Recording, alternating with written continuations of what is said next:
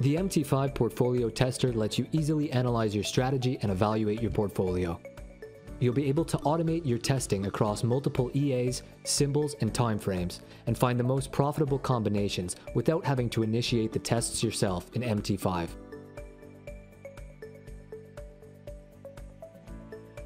The workflow of the Portfolio Tester is split into four main parts.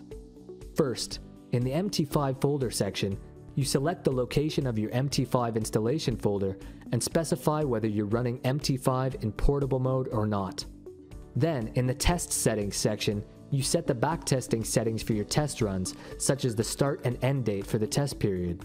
You're also able to set the modeling, delay, and leverage settings, which all match the options in MT5's built-in trading strategy tester. Next, in the test runs section, you set the EAs you'd like to test, their presets, and the symbols and timeframes you want to test for. You can define as many tests as you'd like before finally clicking Run Test. Let's start an example project and walk through the steps to run some tests. First, the MT5 folder has to be set to the location of your MT5 installation folder.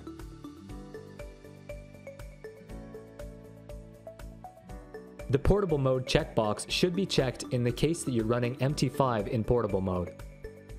Next, in the test settings section, you set the start and end date for the test period with the convenient calendar. The modeling defines the granularity of the backtest.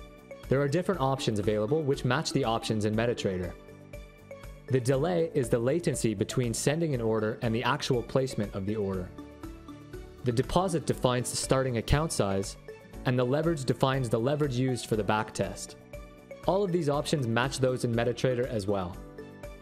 The output folder defines the location where the overall test results will be saved.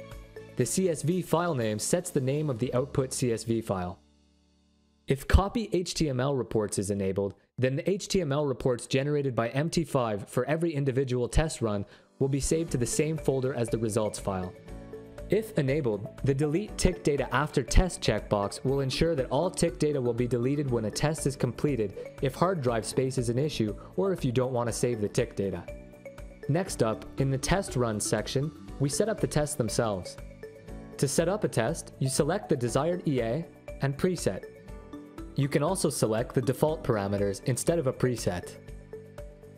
Next, you select the symbols you'd like to test. You can also click to select or unselect all.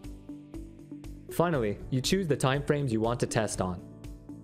Afterwards, you can start the test by hitting Run Test, or you can continue to add as many more tests as you'd like. We'll add one more test, Session Trader EA without the filter. Next, we'll save our project and call it Session Trader Test, and finally click Run Test.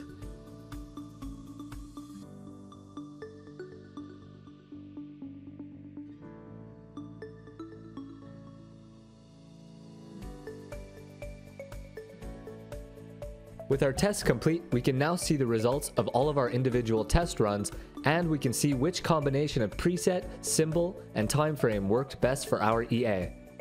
For both of the chosen presets, the EA worked very well with DDU on the 12 minute time frame, but it performed best without the filter, where the profit factor was higher. You're also able to see a quick summary of the total P&L and average profit factor and drawdown for the whole portfolio. The results for every individual test run are saved to the CSV file in your output folder. If you chose to copy MT5's HTML reports, they'll be found in this folder as well. In the output CSV, we can see the results for every test run. We can view their parameters and performance metrics like P&L, drawdown, profit factor, and trades taken.